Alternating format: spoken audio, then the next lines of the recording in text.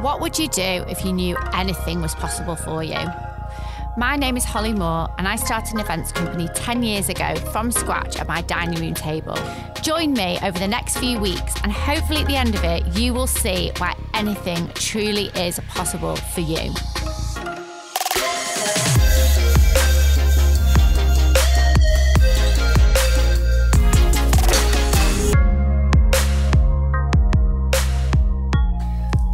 It, it started with uh, it was one of our big birthday parties. Um, my wife used to love parties on big dates, and um, we needed an organizer. And I got onto the Lowry Hotel to book the room, and I said, "Can you recommend somebody?" And they recommended somebody, and I, I knew her by reputation, and she just wasn't for me. So I said to um, Lowry, "Have you got anybody else?" Well, we've got this young kid who has done it before many times, worked in the industry, but not on her own, not on her own behalf of her own business. So I said to my daughter, Lee, interview her. So Lee interviewed Holly a couple of times without even knowing who she was being interviewed by. I said, don't let her know. So my daughter then said to me, Dad, I think you should see her. She might be the one. So Holly came to see me and we had half an hour, a cup of tea in the kitchen. And I said, Holly, um, I like what you're talking about. These are the rules. You keep it quiet. You don't publicise things. I don't want social there. I don't want any, any publicity for my parties, the private parties for my guests and for me. My job is to pay you on time, and I promise you I will do. Holly performed so well for me she even took the mobile phones off her staff when we were having uh, the, the first party. And it went well. And from that day, we've never used anybody else. Holly has done every party. She'd never let me down and she's getting a big head now. But um, I promise you, she's worth every penny that we spent with her, and it's been perfect, and the relationship is good. Well, thank you so much for those lovely, lovely words. And um, today, um, so Make Events is 10 years this month, and you were uh, one of my first clients. Um, and so I asked you if you'd be on the podcast for so many reasons. Um, I think our listeners are definitely going to want to know a few tips on how to make a little bit of money. Um, but also, I want to talk to you about other things that maybe I haven't talked to people about on podcasts before. So, one of those things being fitness. That's why we're sat in Fred's lovely gym today. Um, also on meeting and being with your soulmate, and also leaving a legacy and all the charity work that you do. So, um, lots of questions for you today, um, and we shall start off um, with your early childhood years. So, Fred, you've talked to me about as a young boy just knowing you were going to make something of yourself. You didn't exactly know what that was, but you told me you knew in your early life, you had that feeling you were going to be successful. Can you talk to us about that? Yeah. Um, I'm a Salford boy from Ordsall, which is probably the roughest part of Salford in my day, and I think it's improved since then. Um, we, I had nice parents. My dad was an illegal bookmaker. Uh, in the war, during the war, he was uh, an ambulance driver, but he fitted that in with his illegal bookmaking. um, there, there was two boys, two girls in the family. Uh, we had four kids in one bedroom because it was a two up and two down. It was a happy childhood. I hated school. Um, I had no time for school. I, I was just wasting my time there because I am dyslexic. Um, and I think in some ways, uh, well, I don't, I don't think it's a handicap because I've been okay with it, and I've read about people su- who successfully made money uh, who are dyslexic. So it's it's not that big a drawback. I mean, it's not. I wish I wasn't, and it yeah. takes me a long time to read a book, but I read a book. Yeah.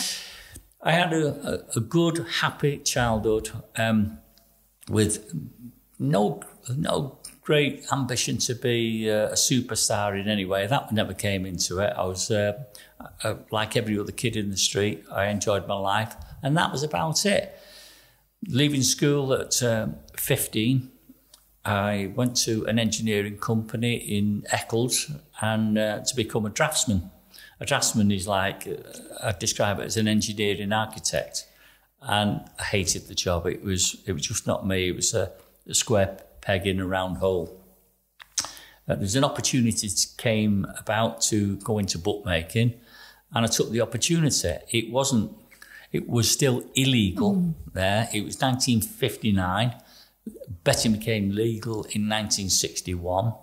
And did I have an interest in betting? No, I didn't. I wanted a job. I needed a job. I needed to earn. And I went into it. And I took, took to it like a duck to water. When I was 21, I was managing an office with maybe 20 guys in it who were all much older than me. Um, I learned mathematics through bookmaking, not at school.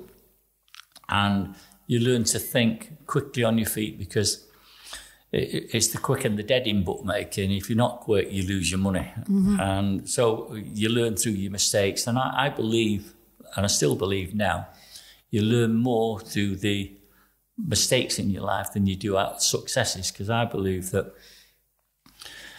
if you're successful, you don't need anybody, you're king of the world. You need help and success and somebody to build your confidence when things are going against you. So that's what I learned. I mean, I learned my, what I've learned. I've learned on the streets rather than uh, in school.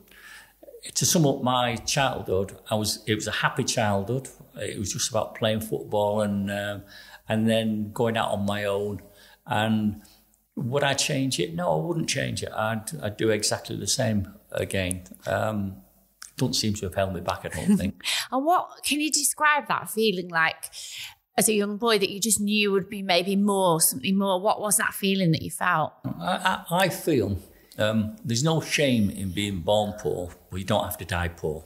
Mm-hmm. Yeah. And I think there's an opportunity there for anybody who wants to take that opportunity. Mr. Market is open every day and we were coming to into uh, recessionary times now. Yeah. And I think it's going to be really, really bad. But there's opportunities there. Yeah. In recession or or when things are going well, there's always opportunities. It's up to you to find them.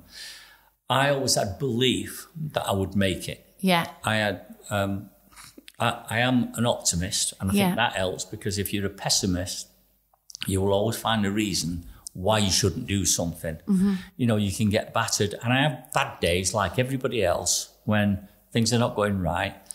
But, you know, from those bad times or the hard times, you learn from it and you, you, you don't do it again. You know, you put your hand in the fire and you burn it. You yeah. don't do it twice, do you? Yeah. Uh, so uh, I take it in the round. I am supremely um, ambitious, even now at my age. Yeah. I'm probably more ambitious now than when I was uh, a young man. And, it, and it's not about um, money because the last thing I need in my life now is money. but it's being right and doing things and doing things well and seeing successful, well oiled businesses. Yeah. Um, I just enjoy it so much. So, again, just to sum up, I was, I knew I would make it. Yeah. I didn't know what I'd make it in, but I knew I would make it. So that's self belief, really. Um, so, how do you turn? You know, we're going to have listeners that have maybe working for somebody, want to start their own business, don't know where to get the cash from. So, literally, I know that you started with, you know, zero pence and you are now, I think, a billionaire would you say? Well, mm, maybe. I, am embarrassed to say things like that. But the, you know, literally, people think you have to have had, you know, a rich upbringing or investment. You literally started with zero pence. So please talk to us. How did that, you know, that that zero pence? How did it start to grow? What did you do? Well, uh, first of all, uh, I learned how to uh, about about bookmaking. Yeah. And I, this sounds conceited. I was good. Yeah and I know I was good. Yeah. And probably I was cocky as well.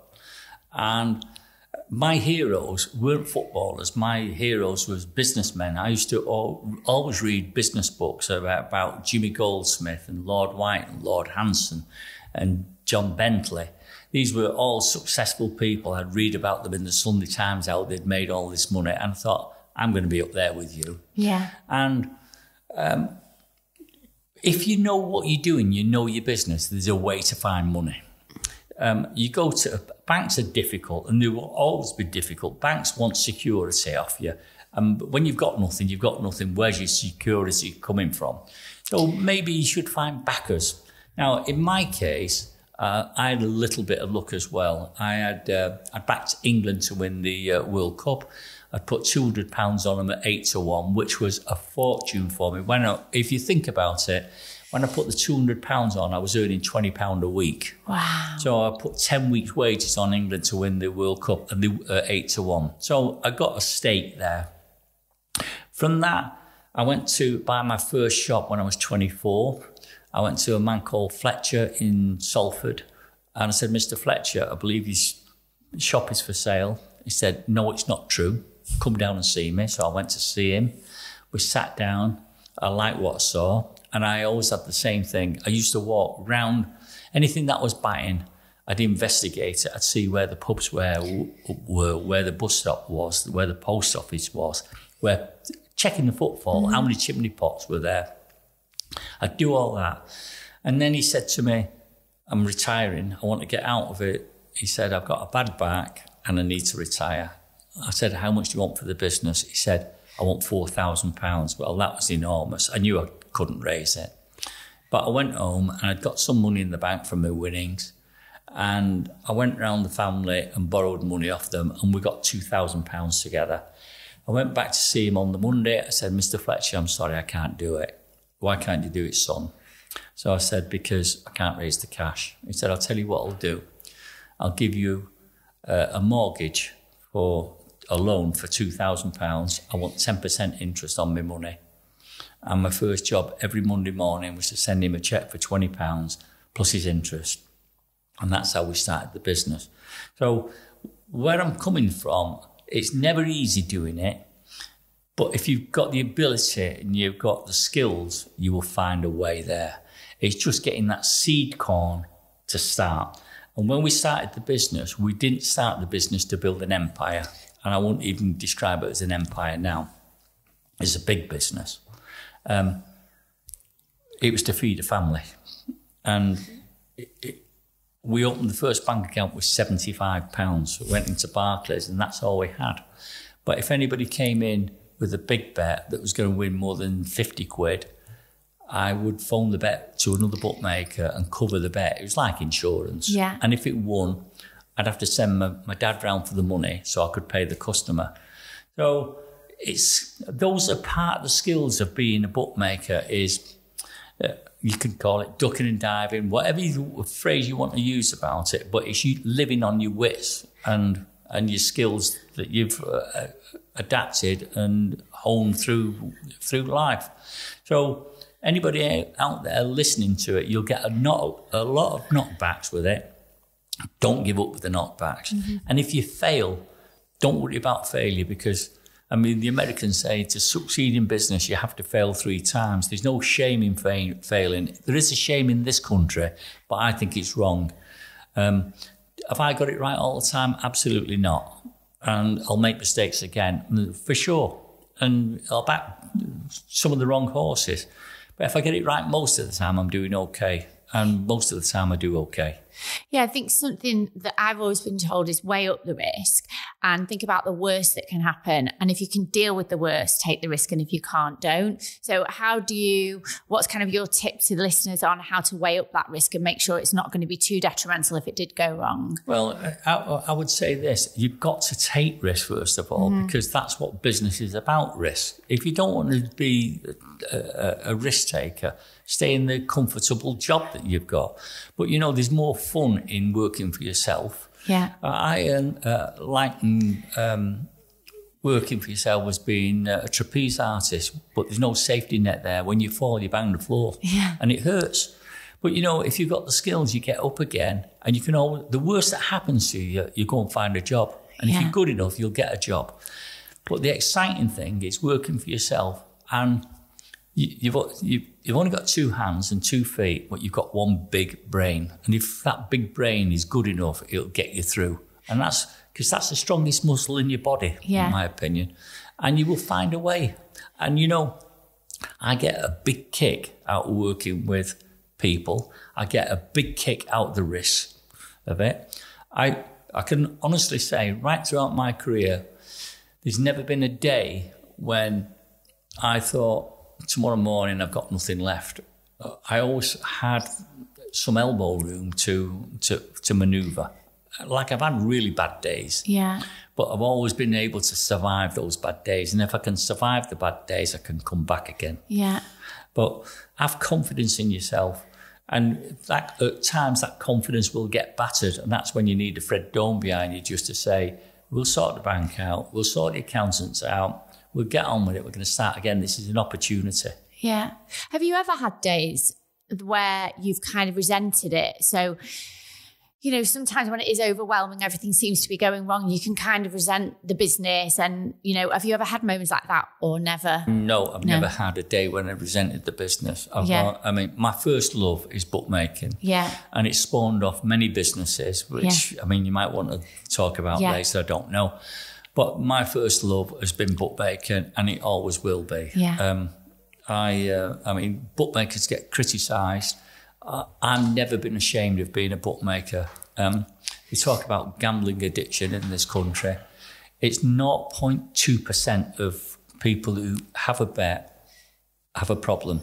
Yeah. 0.2. So that means 99.8% of people don't have a problem with it and it's enjoyable for it.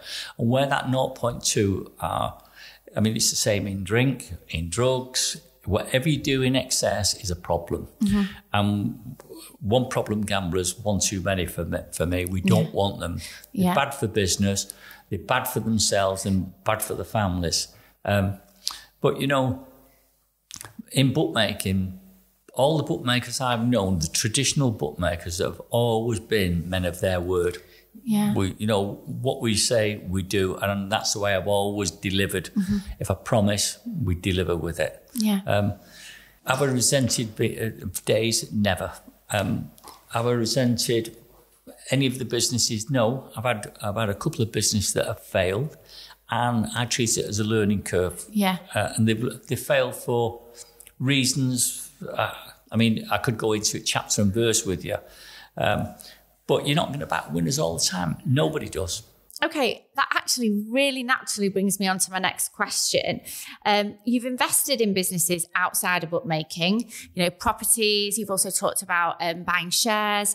Um, what? Um, tell us a little bit about that and how all that came about. Because I think something you've talked to me about is when you were using a particular business as a consumer. So, for example, HR, employee law, um, and then you were created Peninsula Business Services. Um, it feels like if you've used something quite a lot as a business, you've then created it yourself. Can you tell us a bit about that? Well, I mean, you mentioned stocks and shares. Yeah. Um, uh, in December 19, I'd noticed William Hill's uh, share price was going down the pan.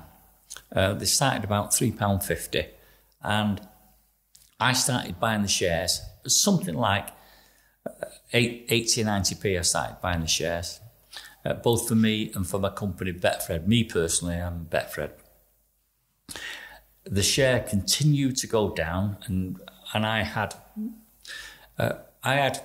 It, it's not fair to call it an inside track on William Hills. I didn't, but what I did, I had an inside track on the industry that I'm in, because I take the view that if I've got good results and I'm making money, all the other bookmakers should be doing the same. They should be making Yeah. money. If I get bad results, I'm losing.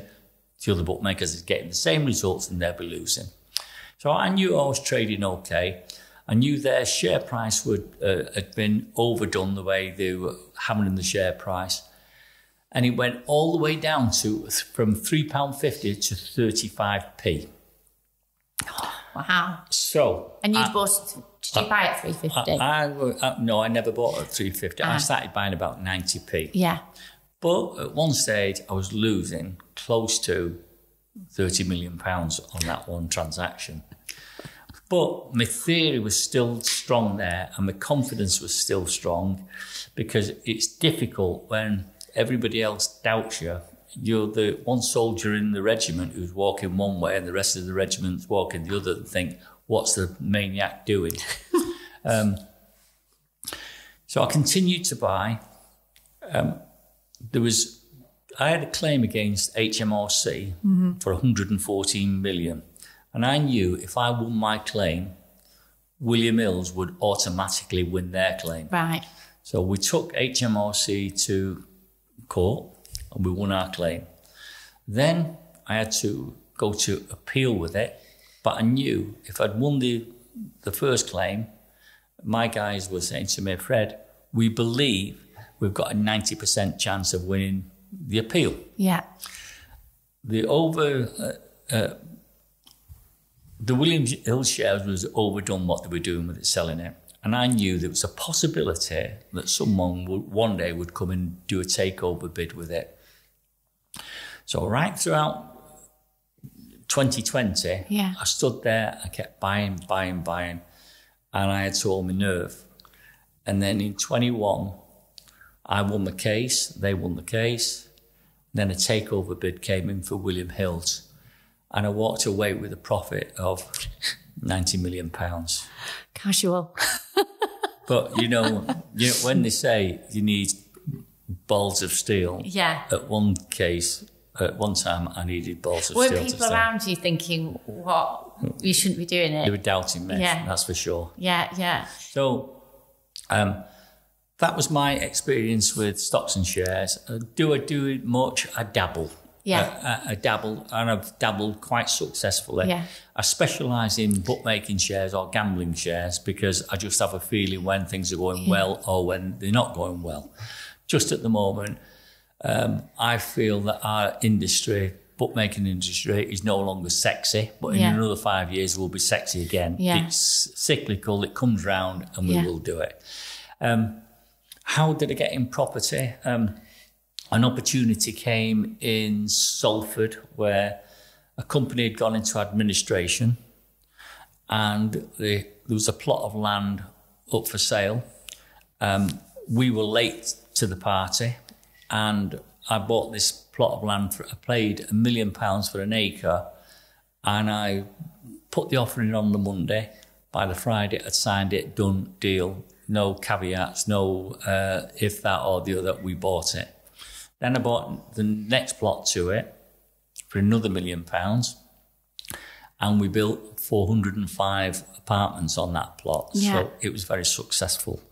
Uh, from that, I sort of got sucked in with development with Yeah. well, with my company Salboy, which has been massively successful.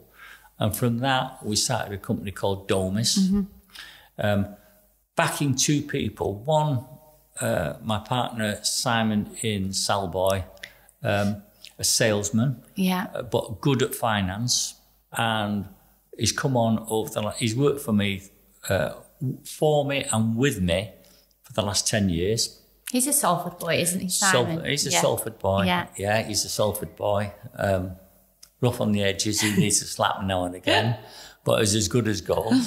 Um, he worked for one of my companies called Golden Tree. Yeah. He was the uh, number one salesman there. He did he did seventy percent of the sales, and he never had one deal go wrong because he Wow. did his DD properly Yeah. on people. So Simon comes to me with an idea. We're getting development, and it's gone on from there. Simon is now a wealthy young man, and with a fair wind behind us, with the next few years, it should be a major company. On the back of that, we've got our own company, construction company called Domis. Um, started from scratch with this uh, with this company with a guy called Lee McCarran. Lee was vastly experienced working for other people. He worked, worked for private equity and he hated every bit of it. he was talking about balance sheets and uh, cash flows and forecasts rather than laying bricks and Yeah. putting concrete up and doing development. Spent all his time doing that because the first thing private equity says to you, how much do you want to take off the table? We didn't do that. Yeah. So that has been very, very successful. Um, currently, in the can for the next five years, we've got 1.95 billion in contracts over the next uh, five years. So you can see we're going places with that. Is that for you? I mean, I'm really familiar with your properties across Manchester and further afield now. Um, is that for you about leaving a footprint on the city as well? Like, is it important for you to have your stamp on Manchester and Salford? Uh, no, I wouldn't say that. But what I would say is this I, I love making money, uh, but I love making money the right way, Yeah. meaning I don't want to build something that's shoddy. I want something that I can be proud of. I can walk down the street and look you in the face and say, I've done my job properly Yeah. for you. I don't have to cross the road because I'm ashamed of what I've Yeah. done. Um, that is the way. You know, you don't have to cheat people to make money. Give them value, look after them, give them a good service, no matter what industry you're in, and you will make money. You will survive. Um, I believe that the recession is on its way. We're going to have a really, really bad time, but we're not over leveraged in any of our businesses, and we will come through it no matter what's thrown at us. Yeah. Um, but knowing your skills, knowing your people, and you know, I'm in a very lucky position that um, I don't have to work with people that I don't like. No matter how good they are, no matter how much money they can make for me, if I don't like them, I don't work with them. Full stop. That's it. So, talking about other businesses, bookmaking being your first love, and then there's other businesses you've invested in. Um, obviously, I'm in the events industry, which took a massive hit during COVID. And I thought to myself many times, what else can I do? Is there something else I'll be good at? And I- really couldn't think of anything. Um, but, you know, there are a lot of people that'll be listening that maybe have come out of one industry at the end of COVID, want to set up a business or get into another industry. Do you believe for that idea to be successful, it's got to come to you uh, rather than try and dream up something else you might be good at? Well, you know, you said in you in the, in the question there, um, I, I, I couldn't think what I could be good at. Yeah. It's because you're good at what you do because you've learned it. Yeah. So you've Yeah. got to learn these skills. I suppose uh, I consider myself the most useful, a useless man in the world, and I promise you, I'm not joking when I say that. Like my hands, I can't use my hands. I can't use. Uh, um, uh, I'm so impractical about everything. People have to nurse me and do everything. I suppose where I'm lucky, um, or I've learned, I, I don't think it's luck because I don't really believe in luck. I think you make your own luck. Um, I've been able to make money. Yeah. I've been not to not a finer point on it, but I have been good at making money. Yeah. Um, and I've been good at picking winners. And that when I say picking winners, I'm pick, picking people. Yeah. All businesses are the same. It's Yeah. the people who run those businesses that make it. There's bookmakers who do not make money. Really? There's uh, events people who are going to fail. You're not going to fail because you've got the skills, you've got the enthusiasm.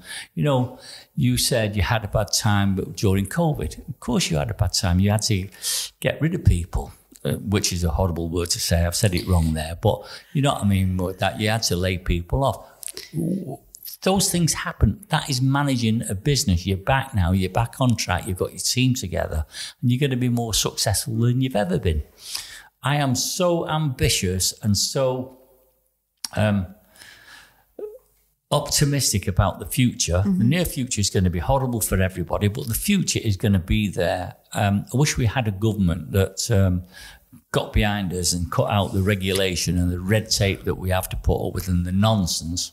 And uh, I believe that we've got a cabinet there that, are like cabbages. They don't, they don't know what the hell they're talking about. and we've been ruled by these people. Um, so there is opportunities there. You've got to have the skills to do it. You've got to have some sort of a skill to be successful in anything mm. you, you're going to be doing. And it's up to you. Yeah. It is entirely in your hands. Just have the confidence. If you've got the confidence in yourself, you've got every chance. Yeah. Great advice. So going on again to additional businesses that you've developed, the um, recently in the in the press, um, we've learned about your collaboration with Gary Neville for St Michael's. For people that don't know what St Michael's is, can you just give us a little bit of an overview? Well, St. Michael's is, uh, I think, is probably the best location for what we're going to put together in Manchester, city centre Manchester. It's a bit unique. Um, Gary has been working and assembling this site for nearly 15 years. Yeah. I would never have had the patience to do what he's done. So he's put the site together and it, I got a call from Gary, Gary saying, you know, would, would you um, come and talk to me? So we had a chat about it. Cut long story short, we've done a 50 50 joint venture where um, we're going to build offices, we're going to build restaurants, we're going to build a, a, a hotel, 200 apartments, serviced by the hotel. It's going to be one fantastic location. The development in total is going to cost in the order of about two, over 200 million. Um, we see fantastic potential in this. We will start putting spades in the ground sometime next year. And I reckon it's probably a three and a half year project to get together. Where Gary's been very skillful, he's had a lot of knockbacks through planning, objectors, and he's stuck at it. Um, I think we've got a good relationship. I like him. I find him very straightforward, very honest, um, respectful. When I say respectful, I uh, I think it's an age thing, but uh, where Gary is with uh, uh, my age. But I'm looking forward to, and I am that what we've seen in one another. I do enjoy working with him, and we are going to make one massive success out of this project. This is nailed on, I promise you. We're going into it at the wrong time. We're going into a recession. But recessions traditionally last two to three years. Mm-hmm. By the time this is built, we will be out of recession. We'll be on the way up again. They always say, don't they, as well, with a recession, you know, what comes down will go up again and what comes up will come down. So again, it's about holding your nerve again, isn't it? And riding the wave over whatever is going to happen over the next couple of years. Yeah, it, it is. But you know, where you've got to have a bit of wool on your back to be able, able to hold it together. Okay. But you know, the um, the people, you know, you've heard the phrase cash is king. Yeah there'll be an opportunity there for people with money to take over people who can't afford to hold on. Yeah. But you know, if I was in that position, I'd do my utmost to hold on and come through it all. Even if you have to mothball things and yeah. just take it easy and take a backward step and maybe cut cut out the growth and just yeah. say we're going to survive. Yeah. And when we survive, we'll then the only way we can go is up when things come good again. Yeah, because that's what my dad said to me. Because we're set to kind of have our best year ever this year with make events with the recession ahead, and he's just said to me, you know, you survived COVID. It's basically putting a like, you know, learning what you learned then back into practice, and it's the second time round. So, um, yeah, really good advice. Um, so we talked about you've invested a lot in people and talent. Um, tell us what you look for. Now, I don't want a hundred businesses now contacting Fred Done for a borrow, but um, what do you? What is it that you see in people that makes you want to invest in them and their business? Well. Um, I had an opportunity one time to to be one of the uh, judges on Dragon's Den. Oh, right. And uh, I'm glad I didn't do it because uh, I'd throw some of the people down the stairs and say, "What you wasting my time for?" Look, what do I look for? Um, things have slightly changed. I I have to invest in bigger businesses now yeah. because something I can't invest in a, a, mom and pop corner shop anymore because it's just not worth my while. Yeah. But I look for people. Mm-hmm. I look for people that I believe in who have got talent, who've, who've got the scars on the back, who've been through it. Um, most of the time, I've been successful with it, and I can tell you that where I've not been successful, yeah. Um, but it's everything comes back to one thing: people. Mm-hmm. I mean, you look at it. I mean, some of the crazies that you see have made wonderful successes of the uh, the businesses.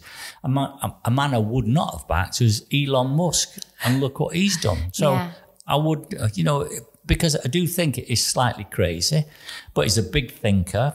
I've just read his book, and I think he's a, a goer. He's a far better businessman than I ever expected him to be. I wouldn't have backed him. Why but, not? Um, he's just not my type of man, and mm-hmm. I can't tell you that. Mm-hmm. Um, opinionated, which I, would have been falling out with him after two weeks because um, I'm opinionated as well. but I, I, can't really tell you. You know, in your own skin yeah. when you when you're comfortable with somebody, yeah. when you want to work with them. Yeah. Uh, as when I met you, yeah, you immediately I thought this girl's got a chance. And you proved it. And what was that for me? Just again to relate it back to people who might be listening, what would be um, the character traits? I mean, obviously, you're um, you haven't invested in, in my business. You've used me as a, a, a, supplier to you, I guess. But what was it? Because I remember at the time, back in 2012, the fact that you did use me gave me so much gravitas because people were like, well, if Fred Done can have any party planner he wants, why has he picked her? She's only just started. So if you could say like a couple of character traits, what would it be? Well, you came over as honest. Yeah. You came over as naive.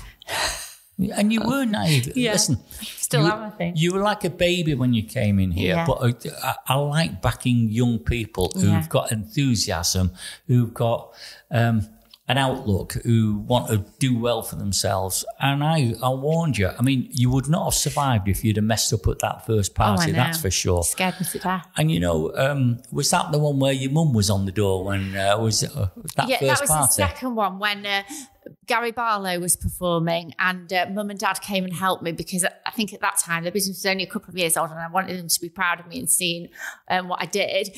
But I asked mum not to speak to you, but of course, immediately she introduced herself to you, didn't she? Holly's mum in a make events hoodie or something.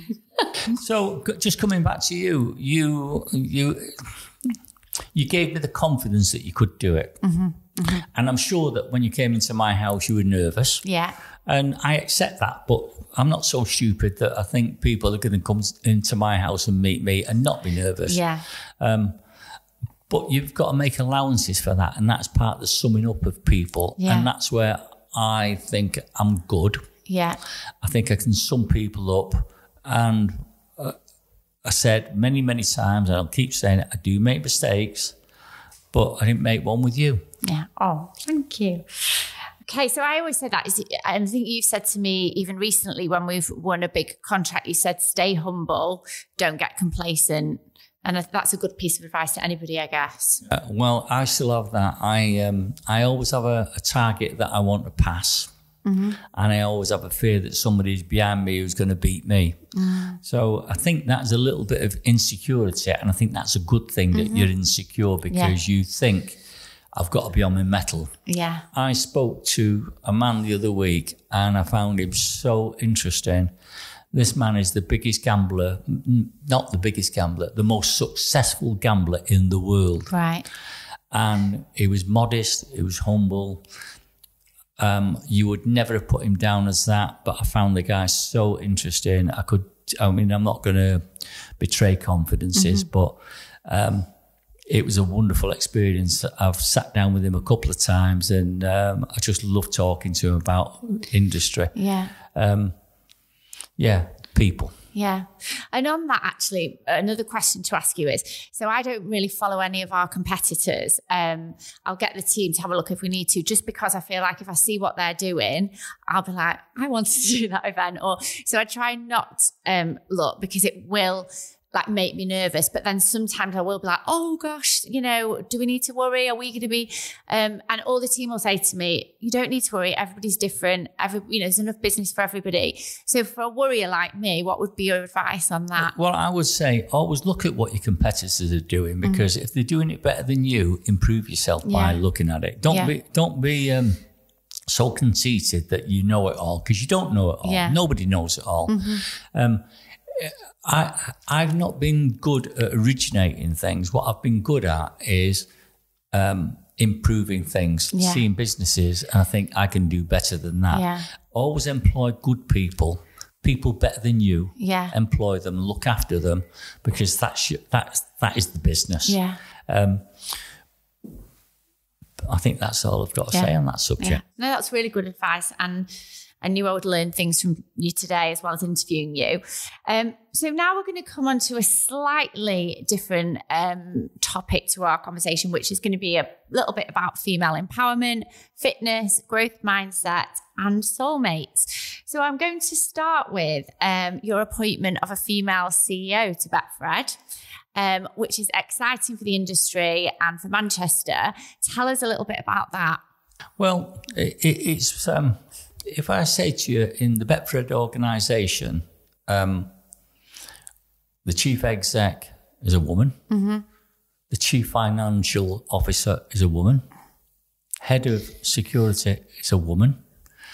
We've just bought a business in South, Af- uh, South Africa, the most major lottery company running in South Africa. run by a woman, owned by a woman. Um, my personal trainer for the last 14 years, a woman. Mm-hmm. So I don't have any problems with women, Mm-hmm. but women have got to be good. Yeah. I wouldn't employ a woman because she's a woman. Yeah. I'll employ her because she's good. Yeah. Um, I do think women have one big disadvantage that men don't, and that is they have children and they're responsible. Um, so, in some ways, women have to be better than men. But if they've got the skills, they've got the job with me. Yeah. Jo Dale, or her name's Jo Whittaker, but I call her Jo Dale because that was her name before she got married Yeah. and I know her. Um, is good. She's Yeah. the future. I'm the past. Um, Jo's good at regulation and she's good at um, HR. She looks after people. She's got a good mind. She's still raw. She's still learning, but she's going to be good. She's she's the future. She's ambitious. Um, Jo worked for me more than 20 years ago. She ran my uh, techie department when we didn't have a techie department. She was the boss and she ran it well. And she came into me 10 years ago. She said, I'm going to start my own business. I said, and what's that business? And she told me it was, uh, she went through it several times until I understood it. It was about child vouchers for nurseries. She made a massive success out of that. I backed her in that business. And then uh, she started advising me on the bookmaking side, uh, on skills that I didn't have, because the future is changing all the time. Eventually, I asked her to come in as chief exec. Yeah. Um, and she's been in that role for 15 months now, and it seems to be working. I mean, she's still learning, Yeah. and, she, and she'll readily admit that. And that is one of the good things. I like people who say, I don't know, tell me about it Yeah. rather than sit there like a dummy as, and think that um, I'm kidding myself out of this one. I, I want them to think that I know. Ask questions. Jo is good at that. Yeah. My Great advice. my chief um, financial officer is a woman. She came from uh, from the industry. When my uh, finance direct, director left me, I put her in the role. She's very good, knows the numbers inside out, and they have to know. Everybody ha- has to know numbers when I'm around because Right. I live with numbers. Yeah. Um, so I have no problem with women, providing they're the right women for the job, and long may it rain with them. So there seems to be something there about potentially, and it's something that we've done in make events. Often I've brought people from outside the agency that have been at bigger agencies, and it, for some reason it's not worked out. And so last year I made a decision to kind of put people in leadership roles that maybe weren't quite ready, but I trusted them. They had the work ethic. Um, I could see that their skill set could be developed. And so far for me, that seems to be working. Do you, is that something that you would have applied in that situation, would you say? I do apply that. Um, you can get people coming in for an interview and they are fantastic, they're skilled, they can sell themselves. I've got people working for me who I wouldn't swap for anybody, but if they went for an interview, wouldn't come over well. Okay. You know, the one thing that you um, you you do know if you're promoting from the shop floor, you know the skills of these people because you've worked with them for a few years. What you don't know from outsiders coming in, they might be fantastic at selling themselves, but when it gets down to the job, are useless. And I've Yeah. seen that so many times. Yeah. Great advice. So, talking about um, females, um, we're going to talk um, about the a very, very important female in your life, and that is your um, late wife, Mo. Um, and the reason that I want to talk about this is um, having known you for such a long time, um, we will have um, a- an audience that are in happy relationships, not in happy relationships, single, um, believe in soulmates, don't believe in soulmates. I've always believed in soulmates. I know Mo was your soulmate. Um, can you tell us about when you first met? Yeah, I was 15, she was 17. Um, she was going out with a friend of mine. She saw me and she fancied me. So she, within a week, we were together. Um, Did you lose your friend? uh, no, we stayed, stayed friends. so he must have had enough of her already. Um, we got married when I was 21. Um, it worked. Um, Mo died four years next month. Yeah. Um, we were together all that time. Um, when we started the business, uh, I think you know the uh, the story about that. Well, I'll just repeat it. When we opened our first shop, she became my first cleaner because we couldn't afford a cleaner. She became my first cashier because we couldn't, couldn't afford a cashier. My brother's wife, Anne, who died last year, uh, she was a cashier because we couldn't afford her. So it's a really, really family business. I had a 60 year old love affair with my wife. Um, it still hurts. There's st- still a hole there, and I find it difficult uh, at times talking about it. I do get lonely, and that's another reason to stay in business and uh, and meet people because while you're working, you can't get lonely. Um, I miss her. Uh, I'd do anything to bring her back, but that's all gone now would I have changed anything in my life about her? Not not one hair on her head. She was she was she was my soulmate, as Yeah. you say. Yeah. Yeah. And for um I mean I've had many conversations with Mo about what it's like to be married to somebody who is as successful as you. And I think you would openly say that a lot of your success is due to Mo because of the way that she supported you. Um so there will be again um, listeners who male or female that are married to hugely successful people and that can be hard because they're away from home a lot and you know workaholics how did what did mo do that was so important that helped you be who you are now? Mo, without talking to me, knew what I was thinking. It was that close. Yeah. She knew when to not ask questions, and she knew when to ask the question. And it, she always got the timing right. She knew when I came in, uh, what's your day like? It's been okay. And she knew it wasn't. She she could tell. Um, oh, I lost uh, a general. I had a general manager when we had about fourteen shops, and I was devastated when he handed his notice in. He was going to start his own business, and she said to me, "Fred, you ran the business before he came. You'll run the business again. Now he's gone." And that was the sort of advice that she gave. She was a working class woman, uh, uneducated like me, um, but educated in life, and she could give advice to people, and she wouldn't give any, she wouldn't stand any. Uh, any bullshit from anybody because that's the way she was and she'd tell it how it was. And if you if you listen to her advice even now my kid said mum would have done that. Mum would have done this. Um, so there's respect there and this is respect that she'd earned you, you know you you do you, res, you people respect you because you you deliver and Mo always delivered and when things were very bad uh, when things were tough. I mean, I remember one, one time we went out to, uh, we'd had a really, really bad day and I lost a lot of money, more money than I'd ever lost. And we were going out for dinner. And, and she said, don't let's go. So I said, no, we went, we went to a small pub, the press in Prestbury, and it was raining down and I couldn't eat because my stomach was churning over. And she said, get a gin and tonic down here. and she held my hand at the table. And that's the sort of thing that g- gave you comfort. And that's why we were together. And she had a wicked sense of humour. Um, in our um, Kylie Minogue dressing room at the office at House of Make, we have a quote off Mo, which was always dress up, never dress down, which I tell all of my team. Um, two, um, I mean, I always say, I think, um, I always say, you know, it's often, isn't it, when you're in a long term relationship, you forget to make the effort. You know, us girls will get home, stick our hair in a bun, take our makeup off, put our fleecy pajamas on. Mo always made an effort, didn't she? And that was something you loved about her, wasn't it? Absolutely. You know, you just said uh, always dress up, never dress down. Yeah. My, ask my girls that. My Yeah. girl, my daughters, they say exactly the same. That's what mum would have said.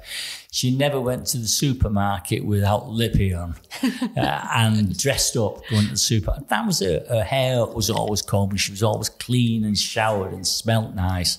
And that was part of it. That was part of her. I didn't ask for that. It was what she did. Yeah. And that's why I loved her. Yeah. She was a, a beautiful, beautiful soul. And, you know, you lost her quite suddenly. She was diagnosed with a brain tumor. I know that it was really, really hard for you all to see. How is that? Because you know, you as a family just presume Mo would be there forever. So as as as hard and as tough as you can be, I'm sure that has forever changed you. Um, in how you know what have been your kind of things that you've had to do to get over it because you have had to pull yourself up. Um, what would you say to people? Well, the first time it was diagnosed and she was told that she'd got a brain tumour, she actually turned to the consultant and said, I can't have a brain tumour. I've not got a brain. That's what she said to him. Now, you imagine saying that when I you've know. just been delivered that news. Um, it, it, was tragic. I saw her go. Um, I said to the uh, consultant, How long can I give her? And he said 18 months, and she lasted about five. I, I took her to America. I went to um, the greatest hospital in the world, the Mayo Clinic in uh, Rochester. Um, they were fabulous. Um, mm-hmm. We should have hospitals like that in this country.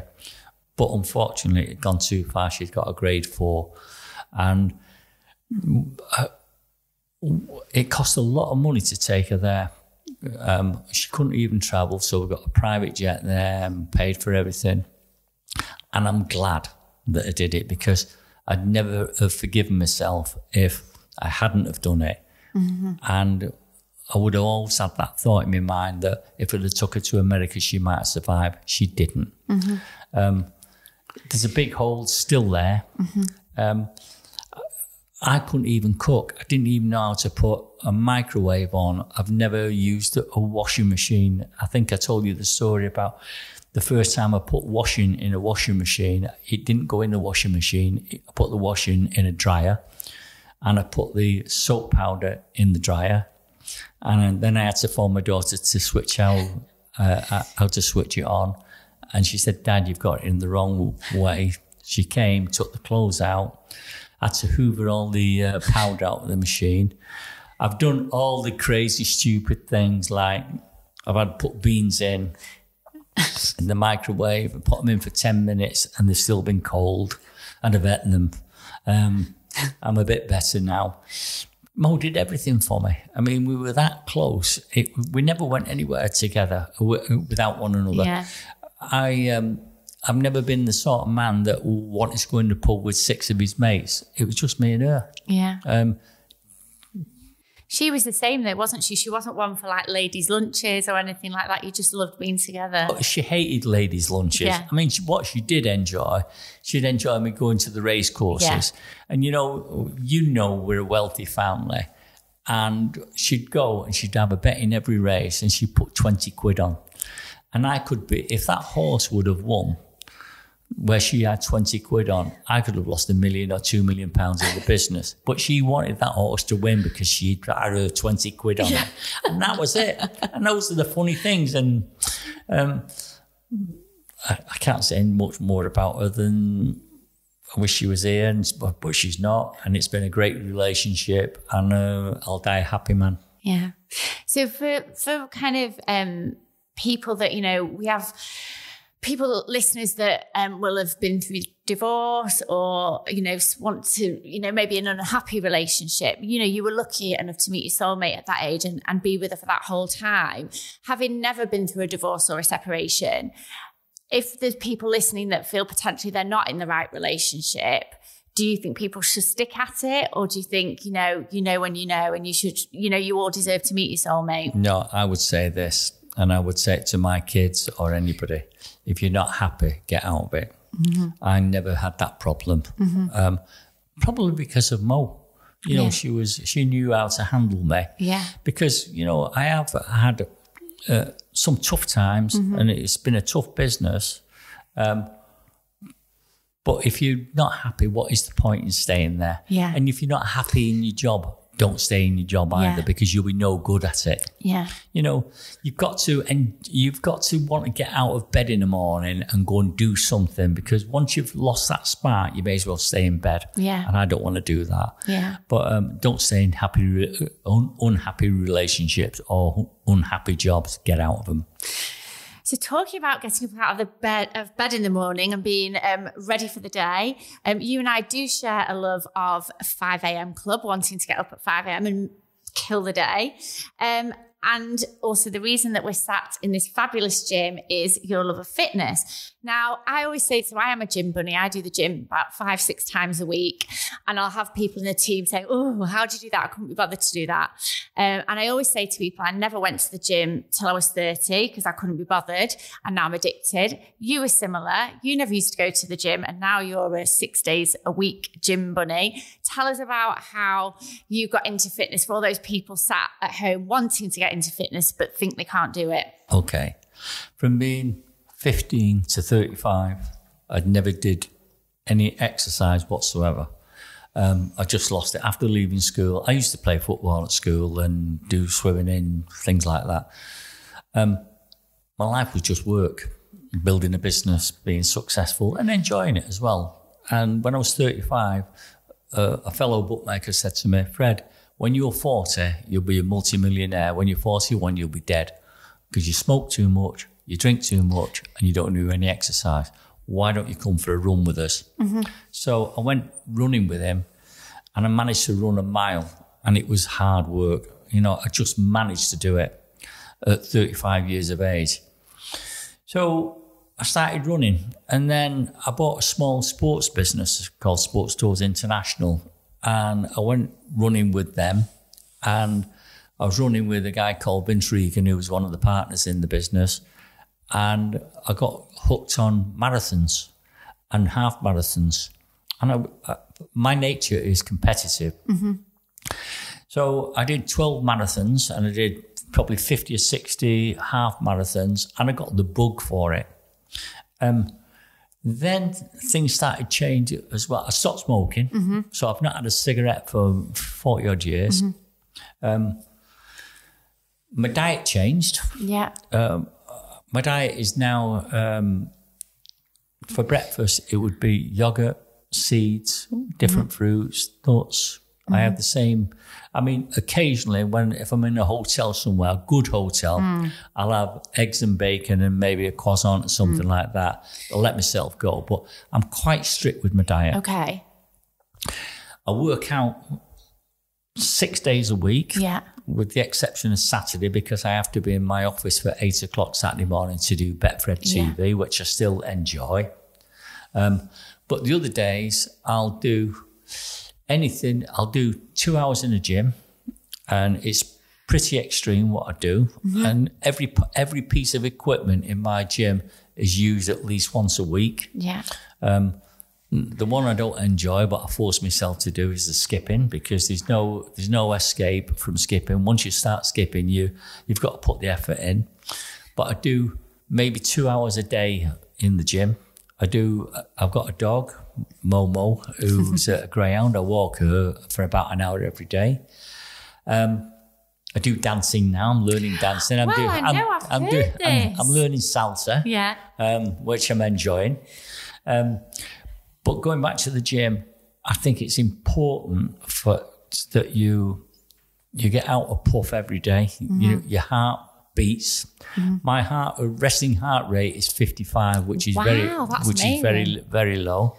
Um, my blood pressure it was taken this morning. It was 117 over 68, which is yeah. pretty spot on. Um, and I think it's through the exercise. You know, why do I exercise and why do I keep a sensible diet? I'm not ready to die yet. Mm-hmm. Uh, I don't want to die. I do. Want, I want to do some nice things before I go mm-hmm. with some of the charities that I'm doing. Uh, I want to see some successful businesses, and I just enjoy life. Yeah. But I think it's important that you do something in in the form of exercise. And my advice to people who have not done exercise yeah. like you didn't and like I didn't. Yeah don't kill yourself when you start off. Do it start slowly because it's going to hurt and you're going to be stiff tomorrow morning. Yeah. Uh, but stick at it. It's perseverance. Um, and I think you need discipline. Yeah. You need to be strict with yourself in some ways. Mm-hmm. I mean, I like a, a, glass of wine. I don't have a problem with any of that. Um, but look after yourself because you've only got one body and keep it well oiled. And for like a lot of people, so particularly in my office or in the events, because typically we can be on an event from like six in the morning till one in the morning. There's always chocolate, crisps. You know, we have to have what we call crew food, which is essentially lasagna or something like that. So a lot of people complain, I've not got time. Um, what and particularly as well females with with kids that give the majority of the childcare what would be your advice to someone with the excuse i've not got time what do they need to do? Make time. Yeah. It's as simple as that.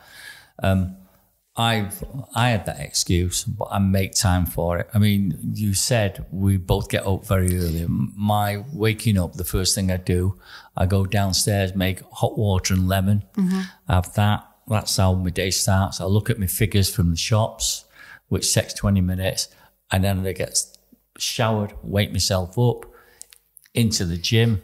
I've got a personal trainer who's been my personal trainer for 14 years, yeah. ex ballet dancer. She's fabulous. Um, but you've got to make time for yourself. You know, if your car was broken, you'd get it fixed. If it needed service, you'd get it done your car's not as important as your body. Mm-hmm. Just get it done. Yeah. And so it sounds like you have quite a lot of rituals. So you're quite a creature of habit, certain things you do every day at certain times. Uh, those sort of things. The yeah. answer is yes, I am. Yeah. Um, I, I, I, hope I'm not boring. Um, I try not to be boring. It. Um, I, I, want to do my exercises. I mean, I, every night before I go to bed, I have one piece of chocolate every night, 70% dark chocolate. Oh, you are good. yeah, I have one piece every night. Take ice water to bed with me um, for the night. Um, I don't drink enough water. My trainer says to me, drink yeah. more. But I think you should look after your body because, I mean, you, you look what's happening in this country now with diabetes, people mm-hmm. losing arms and legs and all the rest of it. A lot of it's in your own making. Mm-hmm. I mean, I was reading a professor from Newcastle University who's written a book on diabetes. He believes that you can reverse it, mm-hmm. but it's quite extreme. Yeah, I like to drink, and with this, uh, you you cut out drinking for at least three months. Yeah, you lose weight, mm-hmm. and it comes back to you. And and I think once you get the bug for it, I've got a daughter who, uh, Nicola, who hated gym at school. She'd, mm-hmm. she'd write her own notes to the teacher, excusing That's herself how, how she got out of the gym. Uh, last week, she was in Lake Coniston. She swam for five miles in Lake Coniston. On Saturday night, she went to a place called Boundary Park in Cheshire and she swam through the night. Um, She's phoned me up this morning. She just signed up to do a relay around Jersey next year. Wow. Her part of it is something like 15 miles of swimming. This is a kid who did not want to know anything, but she's, and her weight is good. And the way she's changed her life is good because of exercise. Yeah. So, you know, it's not a chore. It becomes an enjoyment. I don't fr- get frightened of getting on any machine now or any weights. I just do it. It's part of nature. Yeah. Oh, well, it's definitely working for you. I mean, I can't believe you are. Can I say how old you're going to be next year? Oh, oh. I'm going to be 80. Yeah. I mean, I can't believe it. You're no different to me than you were when I met you 10 years ago. Um, and you do yoga as well, don't you? Yes, Tell I do. us about that. How's that helped you? I, I went to um, uh, Bangkok about 15 years ago, and I met an Indian woman in the uh, in the hotel who was a trainer. And I was a bit embarrassed that I thought yoga was a girl thing, right? Um, far from it. And if you'd have asked me 20 years ago, I'd have laughed at doing yoga. I'd have been embarrassed about doing yoga. But I got into it and I'm very flexible. Yeah. Um, I can put me, me uh, cross my legs and put my feet on, uh, my face on the ground, which most people can't do. Yeah. Um, and it's through yoga. And, you know, through yoga, something that I started doing two years ago and don't do enough of is meditation. Oh, right. Because I think it's mental as well. Yeah. And, you know, if you're having a tough time, yeah it helps you. So I'm a big fan of, I do Pilates, I do yoga, I do all the physical stuff, weights and uh, aerobics, etc. It's a mixture, I think. Yeah. But I do think yoga is important. I think you probably get as much out of yoga mentally as you do physically. Yeah. Just to bring us to the end, something that you have touched on is all your charity work. Um, not only raising money for the likes of the Christie, St Anne's Hospice, I know the Christie being very dear to your heart because of Mo, um, but also your youth zone. Um, can you just give us an overview of what of what you're doing in the charity sector that you're happy to share? Uh, okay. Um, I, I am always a little bit embarrassed about talking about what I do for charity because I don't want to be perceived as um, a big head who's doing it for publicity because I don't do it that way. Um, five, six years ago, Dave Whelan, Mr. Wigan, he used to own Wigan Football Club, Wigan Rugby Club, JJB Sports, said, Will you come up and see what we've built in Wigan? So I went up there, and Dave Whelan, with 20 of his friends, had put a, a, youth club together.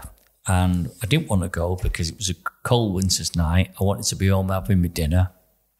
Uh, I said to Mo, I'll be home at half past seven. It was close to 10 o'clock when I came home. I was blown away with this youth club. It was far, far from anything better than anything I'd ever seen before. And I came back and it it just stuck in my mind. This Mo then goes and dies. So I go to see a guy called Sir Howard Bernstein at Manchester uh, Council, and I said to Howard, "I've seen this youth club in uh, Wigan. It's cost six million pounds. I want to do the same for uh, Manchester. You find me the land, and I don't want it in the uh, pricier parts of Manchester, Hale, Altrincham, mm-hmm. Bowdon those people are rich enough to do things for themselves. Find me the one of the poorer places in Manchester, and he came up with Gorton. And there was a place in Gorton called Gorton Tub, which was the swimming baths, which was pulled down. It was near Belle Vue, and um, we agreed on it. So then I got my own construction company, and I said to them, "We're going to build a youth club, and we're going to build it, and you're not going to make any money out of it. This is charity." Mm-hmm. And they said, How does that work with a business? I said, It works that way because I'm telling you that's the way it works. This money is coming out of my pocket, not out of Betfred's pocket or anybody else's. It's something that I want to do. So we started it. We'd come to an agreement with Manchester. Um, Jo Dale, my chief exec, is on the. She's chairman of the uh, the committee there. And we built it, and we built it on time, and we built it on budget. We put six million pounds into it, and we've got a few thousand kids going there now. We charge them a fiver to join and 50p a night when they go. And some of these kids, believe me, have got absolutely nothing. Mm-hmm. Um, we put Christmas dinner on for them for 75 families. We gave them turkey and all the trimmings. Oh, wow. And um, I get as much out of that youth club as them kids get out of it mm-hmm. because they've got nowhere to go. It's 80, percent ethnic. Um, every kid I've seen in that gym is, uh, not the gym, youth club, but they go in the gym. There is a gym there, there yeah, isn't there? There's yeah. a gym there, there's yeah. boxing rings. Every one of them has been nice, respectful. Um, I gave a little talk to them the other week. The kids are nice. They came and thanked me. I've got, I get a massive, massive kick out of that. So the next thing is we're going to start building one in Salford next year. Um, we've agreed uh, the land. At the moment, there's a building on it and it's leased till next May. The, the lease runs out in May. We're going to flatten it and we're going to build a similar youth club there. So that's my next project. Um, I mean, I have visited it and it is absolutely phenomenal, the facilities there. Um, so I feel from this podcast, even though you are a very shy to say a billionaire, you are, but I think we've also had some really relatable and amazing tips today that I think people will be able to relate to their business, their career, um, their fitness regime, and also their love life. Um, and I've been fascinated listening. Um, my mantra is anything is possible. Um, just to conclude on the podcast, what would you say anything is possible means to you? Anything possible. Um, I, I, think I'm a dreamer. Mm-hmm. I think you need to be um, an optimist and you need plenty of blue sky thinking And I'm looking for new angles and new businesses all the time. I've got one on my mind now, which I'm not going to tell you about, but, Oh, can't but, we have a but something that's really exciting me. And I'm just, it only started yesterday, believe it or not, where I pulled my uh, chief trader in and one of my technicians, and I said, This is what I want to do. Um, and I want to set the world on with it. so it, it could, listen, I might even not see the fruits of it, but it's not about that. It's not about the money because most of the money I make personally now I give away. Um, be a dreamer, be an optimist. Um, you will make it. Have confidence in yourself. And if you get knocked down, get on your feet again and do it because you can do. Thank you so much for this episode. I have loved listening to you. I could listen to your stories all day. Um, thank you personally from me for taking that chance on me 10 years ago. I have no doubt if you hadn't, I wouldn't have sat where I am today. So, um, for me and all the team at Make Events, thank you for helping us get to our decade. Thank you. It's been a real pleasure.